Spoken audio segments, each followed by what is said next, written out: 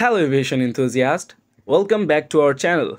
Today we are taking a quick but detailed look at the Sukhoi Su-30 MKI, the backbone of the Indian Air Force.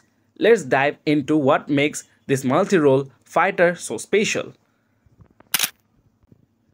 The Su-30 MKI was developed by Russia's Sukhoi and built under license by India's Hindustan Aeronautics Limited, introduced in the early 2000s. It was tailored to meet the specific needs of the Indian Air Force. This aircraft features a tandem two-seat cockpit enhancing pilot coordination and situational awareness. Built with durable materials like aluminum alloys and titanium, the Su-30 MKI is designed to handle high-stress maneuvers. Equipped with the powerful N011M Bars radar, the Su-30 MKI can track 15 targets and engage 4 simultaneously.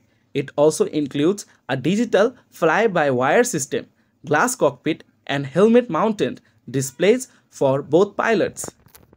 Powered by two AL31FP engines with thrust vectoring nozzles, the Su-30 MKI can perform advanced maneuvers like the Cobra, it has a top speed of Mach 2 and a combat range of 1500 km, extendable with aerial refueling.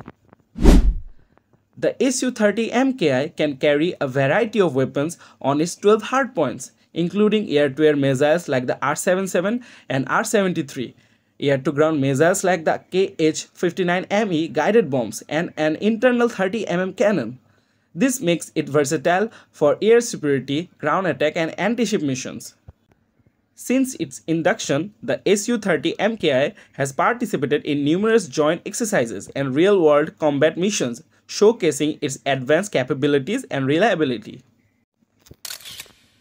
The Sukhoi Su-30 MKI's versatility and combat prowess makes it a crucial asset for the Indian Air Force. Thanks for watching. If you enjoyed this video, please like, share and subscribe for more military content. See you next time.